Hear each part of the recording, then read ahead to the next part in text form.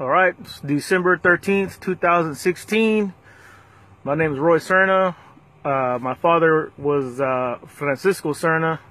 He was gunned down by Bakersfield PD. 73 year old father, grandpa, uncle, you, you name it, great grandpa, and a great dad to me.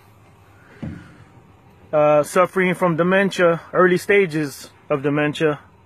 You know, if you know what that's about, then, you know, if you don't, read up on it. And uh, he was taken from us sooner than sooner than expected.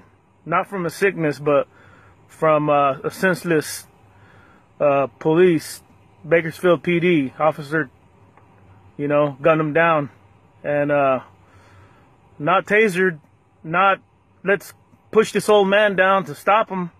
He probably wasn't even doing anything, just taking his walk so he can try to rest.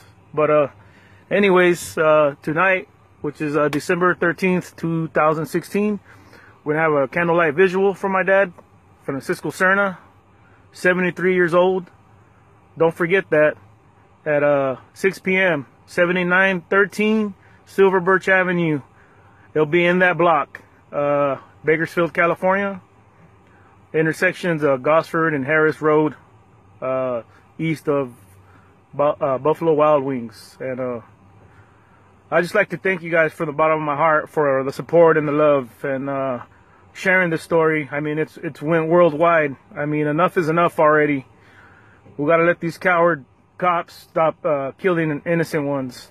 I mean, there's there's people that do deserve to be arrested. I ain't got nothing against the police, but this needs to stop against innocent people. Enough is enough already. Thank you guys again. Love you, Dad.